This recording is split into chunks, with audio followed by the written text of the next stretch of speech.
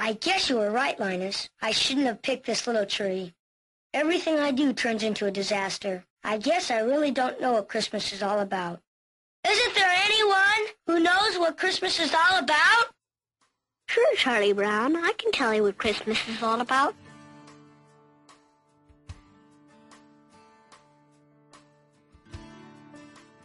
Lights, please.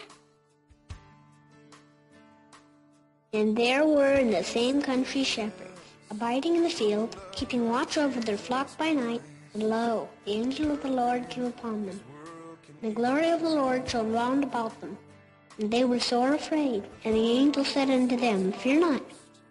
For behold, I bring you tidings of great joy, which shall be to all people. For unto you is born this day in the city of David a Savior, which is Christ the Lord. And this shall be a sign unto you. Ye shall find the babe wrapped in swaddling clothes, lying in a manger. And suddenly there was with the angel a multitude of the heavenly host praising God, and saying, Glory to God in the highest, and on earth peace, goodwill toward men.